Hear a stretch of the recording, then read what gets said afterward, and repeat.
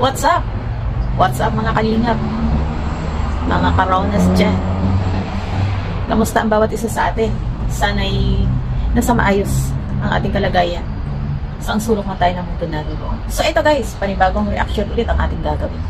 Kukunin natin sa isang uh, vlogger na naglabas ng katotohanan bago inilantad ni Ate Maylin ang kanyang hanipe kay Kuya Van at kay Kalinga So the day before that, ang isang vlogger na ito ay kapitbahay nila Ate Maylin. At uh, nag-usap sila ni Ate Maylin bago lumantad, bago isinapubliko ang kanyang jowa. So, eto guys, panoorin natin. Siya si Romson Vlogs. Si Rom guys, panoorin natin ang kanyang mga sinabi dito. Bagkos na iba ang statement ni Ate Maylin nung inilantad niya na kay Kuya Van at kay Kalima Prab. Ito guys, panoorin natin ito. From Son, pasok. Sa boyfriend ni Ate Maylin na talagang sobrang sobrang nagkamali talaga si Ate Maylin. Kumbaga, uh, naibigay niya ang lahat doon na uh, halos sinuportahan niya yung tao na yun. Pagdating ng oras, uh, parang parang kumbaga sa atin na uh, itinatanggi na siya. Tinatanggi na siya. Kasi sabi ni Ate Maylin na sabi daw ng lalaki, pagka kinausap daw siya ni, pag kinausap daw ni Kuya Bal yung lalaki, tatanggi daw ng lalaki. Sabi naman, sabi ni Ate Maylin sa amin. Uh, sabi niya, aabangan natin guys kasi sabi ni Ate Maylin na pupunta daw siya doon mismo kay la, Kuya, Kuya Bal para isabi ang lahat ng katotohanan na ng mga nawawala daw siya kung saan sila pumupunta. Uh, isabi daw niya lahat doon kay Kuya Bal kung ano talaga yung nangyari. Talaga dito guys, uh, makita natin yung lalaki na yun na talagang ginamit lang talaga siguro sa Ate Maylin. Kasi yung sinasabi ni Ate Melin, yung mga gamit daw dun sa bahay, kagaya ng mga shilling, mga uling, mga mm, kahit yung pampers nung nung, nung apo na nung lalaki ni Mang Ben, uh, kahit yung pampers daw nun, siya daw nagbibili. Saka nung nag-birthday yung anak yata ni Mang Ben, uh, yung anak ni Mang Ben na nandyan, uh, siya rin ang gumastos nun guys. Uh, talagang pinirahan dyan ito guys. Uh, so yun na nga guys, sobrang nung nag-usap sila siguro na, kasi ito kapitbahay niya ito at uh, syempre, sobrang close na rin ito. Parang pamilya na rin ang turing sa nila dahil kapitbahay, no? At uh, syempre, ito yung nakakasaksi ng lahat ng katotohanan. Lalong-lalo sa mga bata nung panahon na si Ate Maylin ay nawawala ng tig ilang araw. Tatong araw or uh, yun, kasi yun ang, ang mga nabanggit, eh, di ba? Mga tig 3 days siyang nawawala. So, uh, ibang-iba ang kanyang mga sinabi doon nung in-interview na siya ni Kuya Val at ni Paro. Samantala, bago pa siya lumantad, eh, ito yung kausap niya, si Romson. So, ganun pa man, yun nga, may panibagong uh, vlog na inilabas si Romson. Dahil, syempre, sobrang masama ang loob niya na yun naman talaga ang katotohanan. Yung pinag-usapan nila ni Ate Maylin. Eh, tapos, nung pagdating sa camera na inilatan na ni Ate Maylin, si Honey Ben, kay Kuya Pal at kay Kalinga Parab, eh, naiba ang ihip ng hangin. So ito guys, panoorin natin ang pangalawang vlog na inilabas ni Roxon. Binigay natin. Problema lang, ah, may, na, may mga nabanggit pa siya na hindi natin inaasahan. Kasi ako naman, hindi ko naman pwedeng i-edit yun kasi ang sabi niya, dapat niya lahat yun maibigay maiyan natin. Eh. kaya hindi naman tayo hindi naman tayo guys sa uh, kumbaga ang pagrespeto natin sa tao na yun ay nandun uh, kumbaga yun na nga guys bali lumabas na ang katotohanan. Wala na po akong magagawa dun. Uh, inilabas ko po yung video na yan kasi po ang pagalang natin ay nandun sa kanila. Hindi ko po pwedeng i-edit kumbaga hindi ko po pwedeng uh, i-cut kasi alam po nila yung mga nasabi nila doon na Bali yun na nga guys, uh, lumabas ng katotohanan na sabi ka ay uh, walang lihim na hindi nabubunyag. Nabunyag na po. nabunyag na po ang lihim. Uh, wala na po tayong magagawa dyan. Uh, naisalita na po yan. At saka nakikita po talaga yan dyan. Uh, ayaw lang nating magsalita sa tungkol sa mga bagay niyan. Kasi alam naman natin, baka na naman ay tayo, mabas na naman. Kaya na. So, sobrang relate tayo kay Robson, di ba? Kasi nandoon naman talaga yun, nangyayari talaga ang ganitong sitwasyon. Yung kakausapin ka ng isang tao na ganito talaga ang katotohanan. Pagdating sa camera, eh, naiba. Yung ganun. Maraming nangyayari niya. in, re, in real life. Sobrang sakit na kagaya inilabas ni Robinson yung vlog niya na gano'n, na gano'n yung usapan nila ni Ate Maylin na itatanggi siya ng kanyang jowa pag in-interview ni Kuya. Pero, ano nangyari? Ibang-iba ang nangyari, di ba? Pero ganun pa man, ako eh, naniniwala ako kay Robson kaysa kay Ate Maylin. At nakita niyo naman guys, ang salaysay ni Mark, ang anak ni Ate Maylin. Siyempre, sila ang ating paniniwalaan. Di ba? So, ngayon, merong request si Mark. Ito yung pakinggan natin si Robson.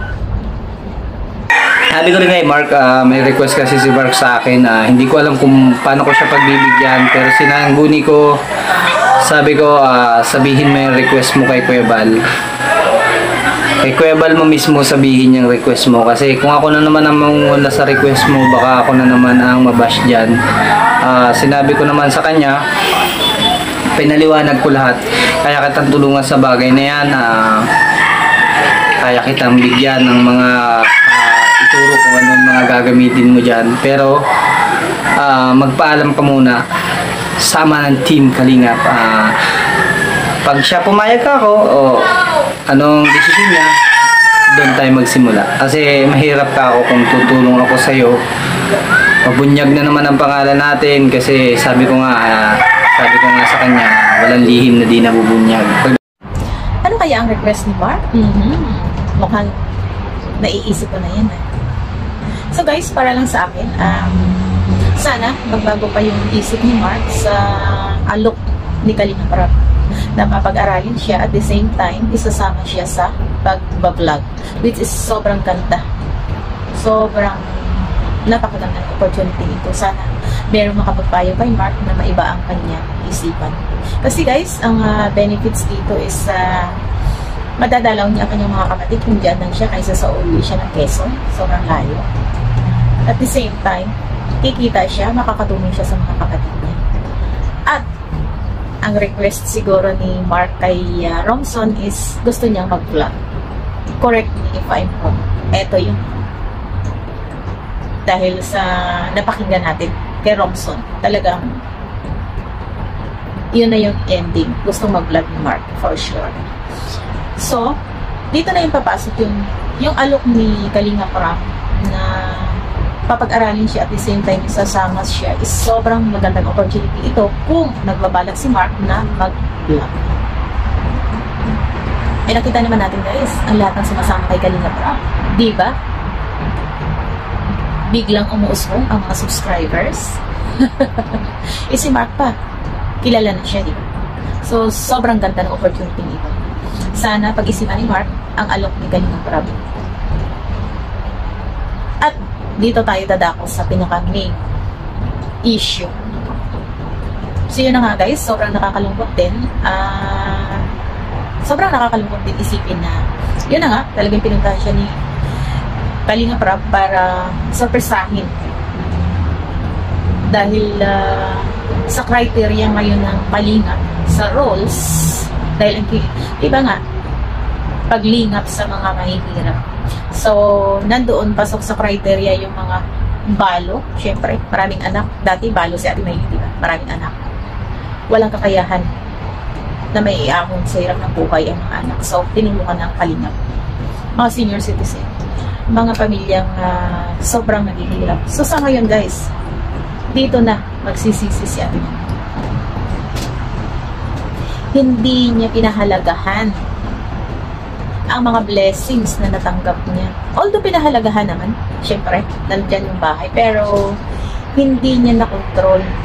Hindi niya na kayang balansehin ang mga bagay na ginawa. So, napakalaking leksyon kay Ate Maylin ang ginawa niya.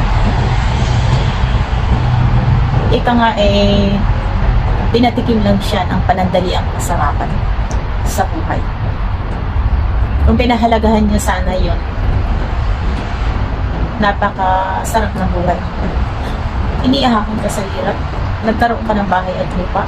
Nagkaroon ka ng mga kagamitan sa iyong bahay. Sobrang dami ng sponsors na tumutulong. So ngayon, ano nangyari? Kung noon, ang sarap na ng buhay niya. So ngayon, kung sa bagay, nandiyan naman si Honey Ben, ay pupunasan siyang pawis. Or, bandang huli baka may pupunasan siyang luha. Sabi nga ni Mark, hindi rin yan magtatagal. Maghihiwalay yan. Siyempre, ramdam natin kung gaano kasakit kay Mark yung nangyayari. Kasi nga, siyempre, siya yung almost nag-alaga sa mga nakakabatang kapatid niya. Sobrang sakit yun, di ba? Itinuring niya ng tunay na kapatid kahit half, half lang. Kasi kapatid niya lang sa ina. Pero talagang niyakap niya ng tunay na kapatid. Dahil nga siya yung nag-alaga. Sobrang sakit yun guys. Nagpakahirap siya sa sobrang edad niya na alagaan yung mga kapatid niya. Tapos ganun lang, pababayaan lang ng nanay niya. Dahil parang sasabihin natin, ipinagpalit niya sa lalaki ang mga anak. Although, naagapan naman. Kaya doon guys, papasok na wala tayong bilig sa lalaki. Bakit? Kinonsinti niya ang maling ginawa ni Ate Maylin. Kung responsable lalaki siya, ay, huwag na tayong, ano, hindi tayo pa pwede hindi umuwi ng ilang araw. Yung mga anak mo ang umuwi pa. Diba? Siya mismo ang magsasabi kay Ate Maylin. Kung si Ate Maylin nagulag, or nandoon siya, lumulutang siya sa kasayahan, ang lalaki mismo ang gagawin sa kanya at magsasabi, ay hindi natin gagawin. gagawin. Okay lang sa araw. Sige, pwede tayo mamasyal. Hindi naman po magkakon. Kailangan mo umuwi sa gabi sa mga anak. Sa araw naman, pag namasyal kayo, magagawa niyo naman ang gusto niyo, di ba? Pwede naman kayong pumunta sa kung. So, bakit kailangan pang magpalitas ng gabi ng ilang araw? Isang araw, dalawang araw, tatlong araw? Hello? So ngayon, inilantad mo na ang lahat. Ano nangyari sa'yo ngayon? Di ba? Wala ka ng suporta sa kalinga, hindi ka napasok sa criteria. So yun na nga guys. Sobrang nakakalungkot lang din dahil yung mga bata. Pero sana, dyan natin makikita kung talagang hanggang saan si Hannibal. Panindigan nila ang sinabi nilang maghanap buhay sila. Pagtulungan nila ang mga pangangailangan ng mga bata. Okay, wala na si Mark. Given. Bahala na si Mark kung ano yung magiging decision niya. Basta may pangarap si Mark na makapagtapos ng pag-aaral at masustentuhan yung mga kapatid. Okay, walang problema. So sa ngayon, sana panindigan ng dalawa ang kanilang statement na maghanap buhay sila at hindi mapabayaan yung mga bata. Dahil kitang-kita naman natin nung mga nakaraan ang kapabayaan ng isang magaling na ito. So, dito lang natin guys tatapusin ang ating uh, sama-sama natin sa ating mga napanto. Kay Kuya Val, kay Kalinga Prab, at syempre sa kapitbahay ni Ate Maylin na si Thompson. So, para sa iyo, Ate Maylin, sana ipanindigan nyo ang sinabi niyong dalawa na maghanap buhay kayo at huwag at hindi-hindi nyo na pababayaan yung mga anak. At syempre, naway pangalagaan nyo ang bahay na ipinagkaloob sa inyo. ng Kalingap. Sponsors ng Kalingap at supporters ng mga Kalingap. Sobrang blessed ka, Ate Maylin. Sobrang blessed. Pero hindi mo inisip yun. Ika nga eh, mas inuna mo pa ang pansarili mong kaligayahan. Although, parapatan mo yan. Pero sana binalansi mo at kinontrol mo man lang. So sa ngayon, sasabihin natin, iyan na ang resulta ng iyong pagkawa. Pagsisihan mo man, eh wala ka nang magagawa. Kagatin mo na lang ang siko mo kung kaya mo abutin. Iyan ang malaking leksyon na nangyari sa'yo. Naway maging matatag ka. At sana'y ipagpatuloy niyo ang pagiging masipag mo para naman sa future ng mga anak. So, yun na guys. Dito natin tatapusin ang ating uh, video. At syempre, naway patuloy natin suportahan guys ang mag-amang Kuya Val Santos Matubang, Kalinga Rob, at Edna Vlogs. Val Santos Vlogs, at syempre ang buong Kalingap team. Meron tayong Unicap team at Karipa team. At syempre guys, sa aming uh, grupong team Kalingap Helping Hands sa pamumuno ni Kuya Rans TV na isa tayo sa kahit pa paano yung sumusuporta sa feeding program ni Kuya Santos Matubang sa mga senior doon sa Lingap Center sa Panganiban. At syempre guys, maraming maraming salamat sa ating mga Kalingap viewers at supporters at syempre sa aking mga viewers at supporters na patuloy na pinapanood ang aking mga video. Sana guys, ipatuloy niyo akong suportahan at ang buong Kalingap team na may patuloy ninyong uh, panoorin ang aming mga videos without skipping ads dahil sa lahat ng aming natutulungan guys. Kagaya niya, pinapanood yung mga videos namin. Kasali po kayo, kasama kayo sa aming mga tinutulungan. Although hindi pa man tayo kumikita guys, hindi pa kumikita ang ating uh, channel. Pero sa tamang panahon, pag tayo kumita eh, mas marami tayong maiaampag na share sa kanila. Tara guys, maraming maraming salamat sa inyong panonood. Naway uh, patuloy niyo kaming suportahan. At uh, hanggang sa muli guys, Rona's Home na nagsasabing maraming maraming salamat. Mag-ingat tayong lahat. Hanggang sa muli guys. Bye-bye!